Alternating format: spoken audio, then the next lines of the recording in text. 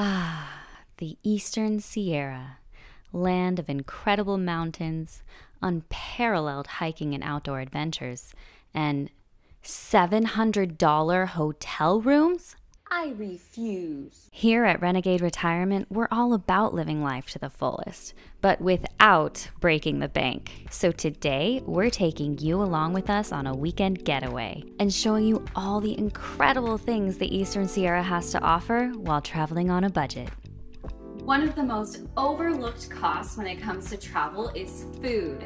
We are always so shocked by how quickly things add up, even when you're not eating out at fancy places, even if it's just like you're going to the gas station, you want some snacks. So to keep our costs low, we never leave the house without snacks.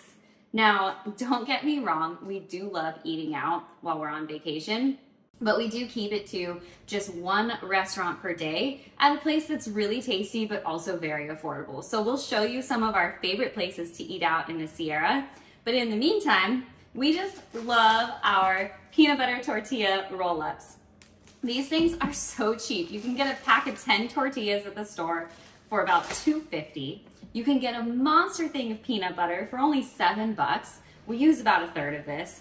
Extra Crunch Skippy, this is the stuff.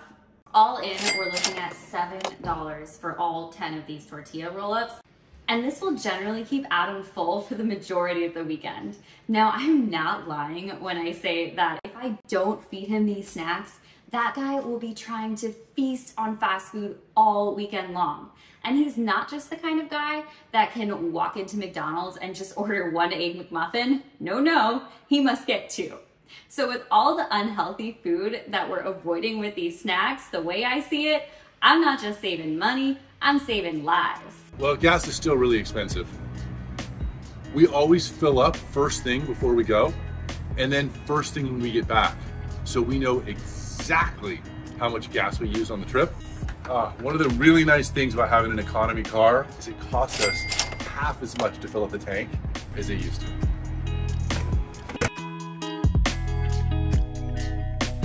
Well, we are at our first adventure of the weekend. We're just outside Mammoth and we are snowshoeing out to what are supposed to be some pretty incredible natural hot springs. Now, most people, when they come to Mammoth, they spend hundreds and hundreds on the Mammoth ski resort, spending all their day skiing down the slopes. But for us, uh-uh, nowhere we dropping a couple hundred bucks on some ski lift tickets when you can have all of this beauty all to yourself. I'm not kidding. Look at this. Listen, you guys, just listen real quick. There's nothing around. It's just us. We're the only thing for miles. We might even get these hot springs all to ourselves. Free 99. Well, you could pay $450 a night for a mammoth hotel room with a jacuzzi, mm -hmm. or you could snowshoe out here. It is so warm in these hot springs. Yeah. Absolutely incredible. I'm starting to sweat. Completely free utterly beautiful, surrounded by gorgeous mountains. It's really quite something. All for free. I mean, this is the life we're talking about, you guys. This is Budget Sierra. well, that was incredible. And we just wanted to share with you guys the land that we're on right now is actually all BLM land, which means that camping here is free and we typically love taking advantage of free camping, but this weekend I decided to take an overtime clinic for work tomorrow morning, which means that I do need a hotel with Wi Fi just for the morning. So we will stay in a hotel tonight, but the trade off is that I will make way more money working just that couple hours. That'll definitely pay for our hotel room and more. Well, despite the fact that I made Adam some insanely delicious peanut butter burritos, sometimes he refuses to eat them in favor of Pop Tarts because he thinks that beautiful views like this cannot be enjoyed without a Pop Tart. Pop Tarts are also super budget. How much is a Pop Tart? I think a Pop Tart's about 30 cents. Oh my gosh. They're really cheap. Okay, I guess that's even cheaper than the burrito. You win. All right, what do you think? Should we go check into our hotel? Check in.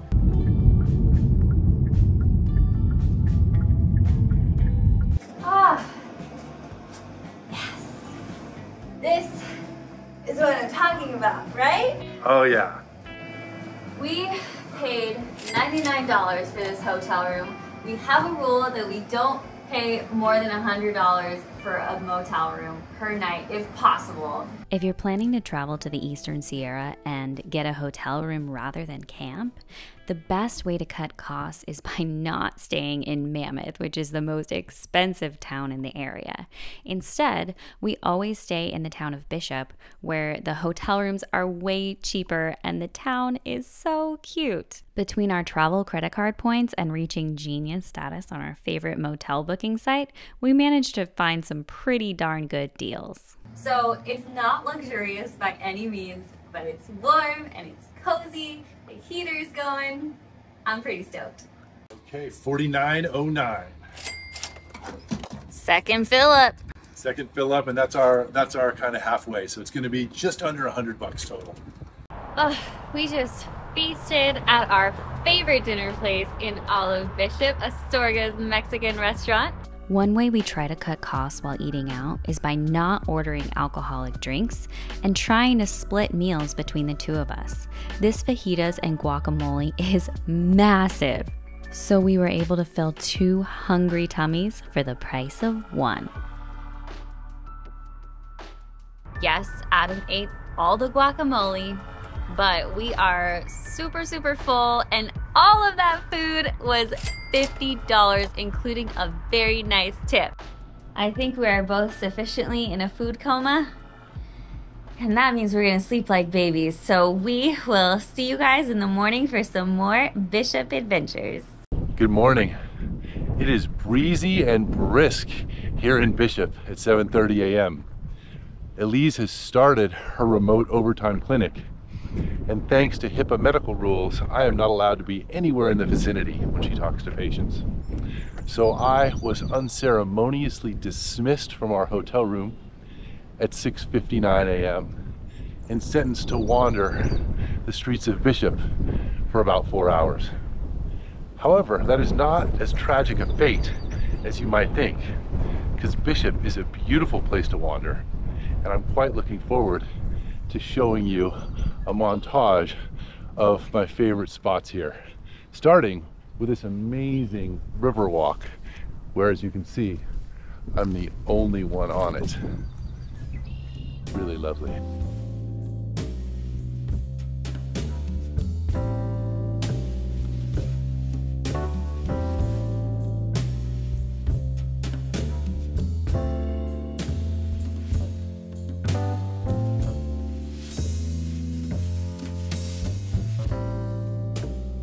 Well, I was forced to truncate my bishop montage due to a sooner than expected rainstorm.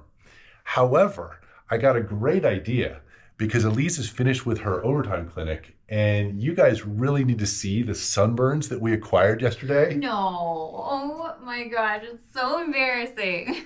They're so funny because we just had no idea it was going to be as warm as it was. So oh we God. didn't know we were going to be hiking without our cold weather gear on. So we took it off. We were not sunscreened on that parts of our body. So check out Elise. You can vote on who has the worst burn. Elise, Okay. turn wait, turn turn around first, Elise. Okay, okay, okay. Look at Elise's back. It looks so dumb. Oh my god. Do I even know how to sunscreen? And then, then you got can this you see on my neck how it's like I don't even know what happened here and why it's like patterned like That's pretty this. wild. And then mine is just the quintessential kind of farmer's but it is really dark. Oh like it is quite a burn. That is an R2 sunscreen fail. yeah. Those of you who watch Live Hard, Love Hard know that we always have some kind of a debacle on every adventure.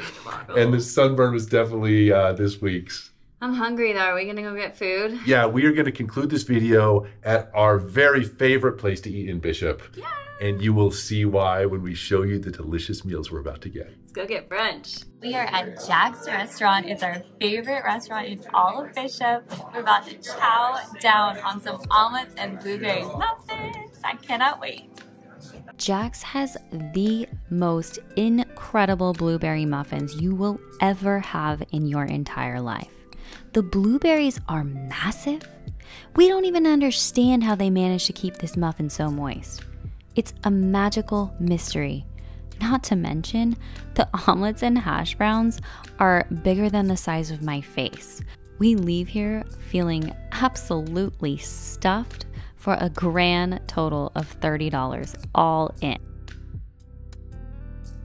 Well, as you might be able to tell from the rain that is just pouring down all around us, the atmospheric river has rolled in early this morning and we have got to get back on the road before it completely starts flooding and we're stranded here, however nice that might be.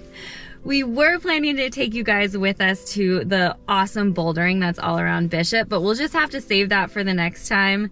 In the meantime, what an awesome trip. I mean, we took advantage of the one single day this entire year that was free of rain and snow, and it was just magical. Really was. One day, one weekend day. There have been some weekdays, but they did us no good because we were working. Okay. Final costs about when you factor in two delicious meals out, mm-hmm. the hotel, mm-hmm. and all the gas, mm-hmm. Just under $300 for the trip. When you factor in the 450 that our breadwinner made this morning, we wind up about $160 ahead for the weekend. Yes. That's how you get to early retirement. Hello, early retirement, right? Really hope you guys enjoyed this weekend trip. hmm Let us know what you thought, if you would have done anything differently to cut your costs even more. Yeah, well, obviously camping would be a good one, and we're going to do a lot mm-hmm. more of that in the summer mm-hmm. when we don't have overtime clinics Yeah. to do. But we'll see you guys next time. See you next time.